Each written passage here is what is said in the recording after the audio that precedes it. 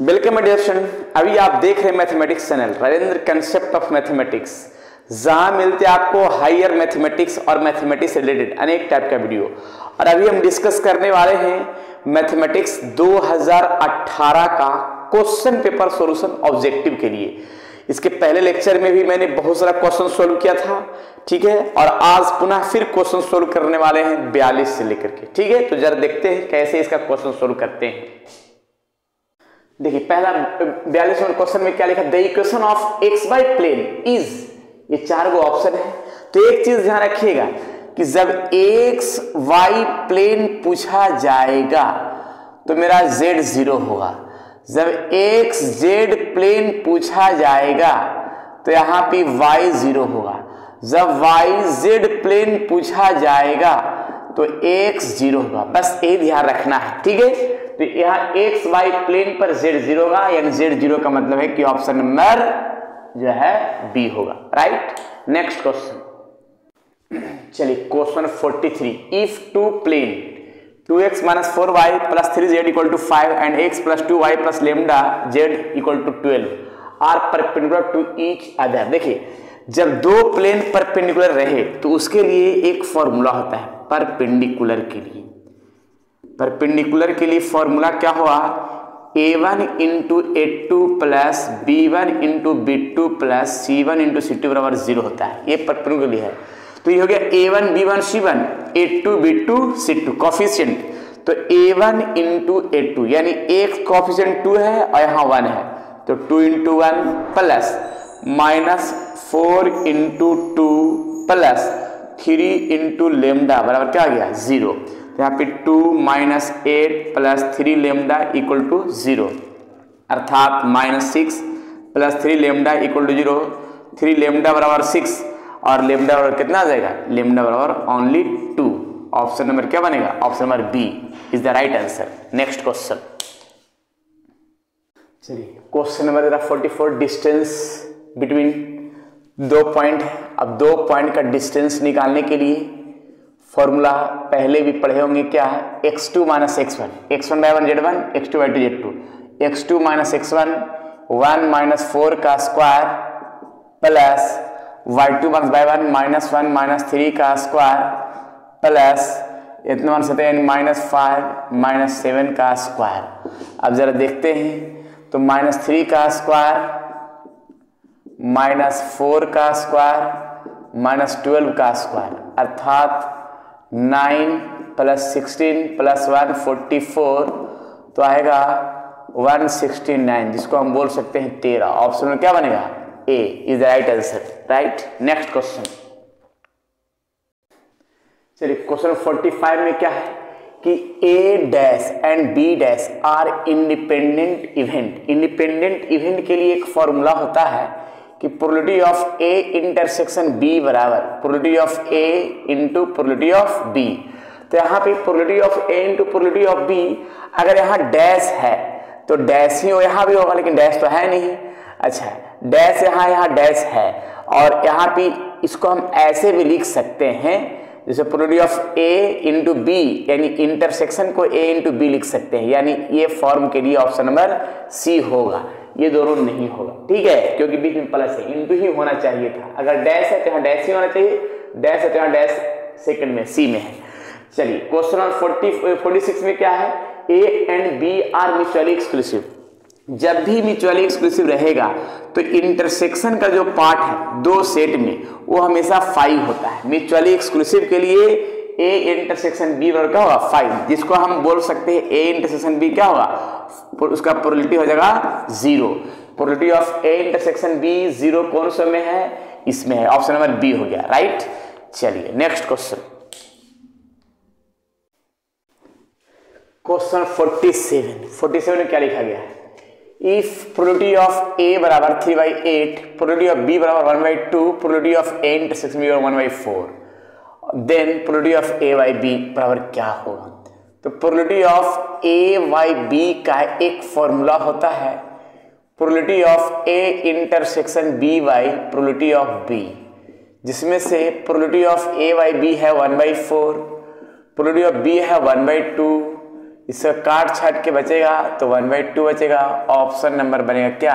B is the right answer right next फिर देखिएगा probability of A and B two event है such that probability of A not equal to zero and probability of B by A equal to one अब सवाल यहाँ पे है कि probability of B intersection A by probability of A अब यहाँ पे probability of A equal to क्या है?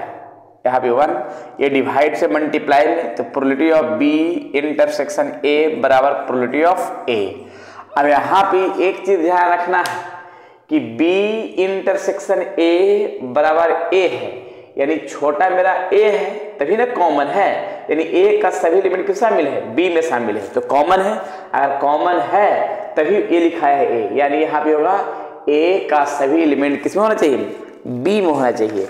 जब ए का सभी एलिमेंट बी में है, तब इसका आंसर होगा ए सबसेट बी अर्थात ए का सभी एलिमेंट अगर बी में है तो probability of A intersection B बराबर क्या होगा? प्रोलिटी ऑफ़ ए लेकिन probability of A intersection B बराबर अगर बी रहेगा, तब यहाँ लिखाएगा बी सबसेट ए ठीक है? लेकिन यहाँ पे बराबर में अगर ए है तो ए सबसेट क्या लिखाएगा? B लिखाएगा। Is the right answer right चलिए नेक्स्ट क्वेश्चन चलिए क्वेश्चन है फोर्टी नाइन सोल्यूशन करते हैं। Integration one by root x plus root x देखिए फ़र्स्ट ऑफ़ ऑल सोल्यूशन करने के लिए दोनों में से रूट एक्स कॉमन कर लेते हैं।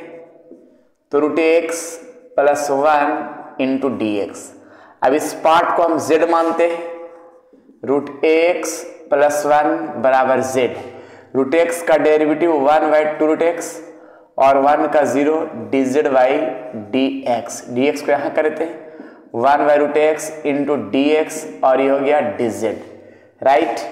देखिएगा d x by root x d x d z लिखाएगा और इतना को मैंने क्या माना? है जेड ठीक है?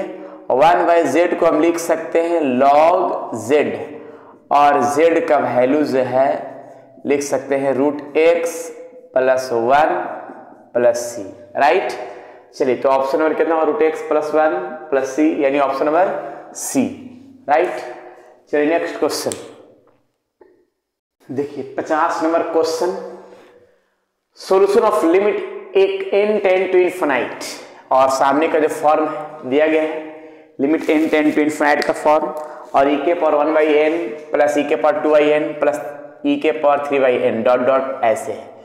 तो इसको देखिए, सबसे पहले इस फॉर्म में हम सोल्यूशन कैसे करते हैं? ये लिमिट ऑफ़ सम का क्वेश्चन है। तो limit n tends to infinite इसको हम लिखते हैं ऐसे सिग्मा के रूप में सिग्मा और यहाँ पे का जो फ़ंक्शन है, वो कैसे? ई के power a r by n r by n by लिखाएगा N और आर का जो वैल्यू वन से लेकर के कहा एन तक? देखिए आर का वैल्यू हम यहाँ पहले वन पुट करेंगे टू पुट करेंगे थ्री पुट करेंगे, और सब प्लस के रूप में। क्योंकि इस फॉर्म में दिख रहा है, वो सामने राइट क्योंकि अगर हम यहाँ वन पुट करते हैं तो वन बाई एन प्लस अगर टू पुट करते हैं तो two by n three by n dot dot n by n और सिग्मा इसलिए सब प्लस के रूप में हो जाएगा राइट अब इसका फ़ंक्शन का जो फॉर्म हम ऐसे लिख देते हैं। देखिए, इसका बाहर कर देते हैं ऐसे limit n tends to infinite one by n ऐसे sigma r equal to one to n e के पावर आर बाई एन और एक रूल था रूल क्या है? कि जहाँ रिप्लेस करना है आर बाई एन है तो उसके स्थान पर हम एक्स लिखना है। ये रूल है लिमिट ऑफ़ सम का, ठीक है? ऐसे जो विद्यार्थी लिमिट ऑफ़ सम नहीं पढ़े हैं, वो प्लेलिस्ट में जाएँगे लिमिट ऑफ़ सम का बहुत सारा क्वेश्चन हम बनाए हैं थ्योरी के साथ, लेकिन हम शॉर्ट में हम बता रहे हैं कि जो आर बाई एन है, वो एक्स कहलाएगा और जो वन बाई एन का जो फॉर्म है, वो कहलाएगा dx का फॉर्म यानी वन बाई एन को डी एक्स के रूप में कन्वर्ट कर देना है, ठीक है? ये हो जाएगा एक्स वन बाई एन और ये जो टर्म दिख रहा है ना, इसके स्थान पर इंटीग्रेशन हो जाएगा। ठीक है? इंटीग्रेशन किसके स्थान पर? Limit n tends to infinite sigma के स्थान पर रिप्लेस कर देना है इंटीग्रेशन को। और जो लिमिट है, वो लिमिट हम निकाल लेते देखिए कैसे? Lower limit lower limit r equal to one जब लोअर लिमिट निकालना है limit n tends to infinite r by n जब आर का वैल्यू यहाँ वन पुट करेंगे। देखिएगा आर का वैल्यू वन पुट करते हैं और एन तो एन ही रहेगा और एन का वैल्यू इन्फिनाइट पुट करते हैं तो वन बाई इन्फिनाइट का वैल्यू कितना आ जाएगा? ज़ीरो आ जाएगा। और एक निकालते हैं upper limit upper limit upper limit क्या है? आर का वैल्यू एन पुट करना है, कि लोअर वन हो गया अपर हो गया एन हो गया। तो इसी में पुट करना है। Limit n tends to infinite r by n जो आर के स्थान पर क्या पुट कर देना है? एन पुट कर देना है। Limit n tends to infinite n by n n by n ठीक है? अब कटेगा तो यहाँ क्या आ जाएगा डायरेक्ट वन आ जाएगा। अब देखिए required limit required limit required limit क्या है? कि मैंने बताया कि limit n tends to infinite sigma के स्थान पर इंटीग्रेशन लिख देना है। और जिसमें वन और एन है तो वन जब पुट किया है तो लोअर लिमिट मेरा ज़ीरो आ जाएगा। और जब एन पुट किया है तो अपर लिमिट मेरा वन आ जाएगा। ठीक है? और ये तो हो गया, और e के पावर आर बाई एन को क्या में रिप्लेस कर देना है? एक्स में। और वन बाई एन को क्या में रिप्लेस करना है? एक्स में। अब इसका इंटीग्रेशन कर लेते हैं। तो e के पावर एक्स का इंटीग्रेशन क्या हो गया? E के पावर एक्स अपर लिमिट और लोअर लिमिट तो एक बार अपर लिमिट माइनस एक बार लोअर लिमिट तो यहाँ ई माइनस वन अब ई माइनस वन ऑप्शन में क्या बनेगा? बी बनेगा। Is the right answer right चलिए तो इस तरह से हम क्वेश्चन को सोल्व कर सकते हैं, जो सामने दिख रहा है। और बेहतरीन तरीका के साथ दिख रहा है राइट चलिए तो आज इतना ही, बाकी फिर जो है नेक्स्ट वीडियो में नए जो है थ्योरी नए क्वेश्चन नए पैटर्न के साथ जो है मिलेंगे। और अभी हम 2018 का ये लास्ट लेक्चर है ऑब्जेक्टिव के लिए। फिर इसके बाद सब्जेक्टिव भी सोल्व करेंगे। लेकिन अभी ऑब्जेक्टिव सोल्व कर रहे हैं। फिर 2019 का ऑब्जेक्टिव सोल्व करेंगे। 2020 का 2021 का, प्रत्येक का ईयर का जो है ना टोटल वीडियो अपलोड किया जाएगा पूरी सोल्यूशन के साथ। जब तक के लिए जो बताया जा रहा है, उसको तरीके से नोट करें और समझें। जो डॉट होता है कमेंट बॉक्स में ज़रूर बोले। राइट चलिए, ठीक है तो इसको नोट कर लीजिए।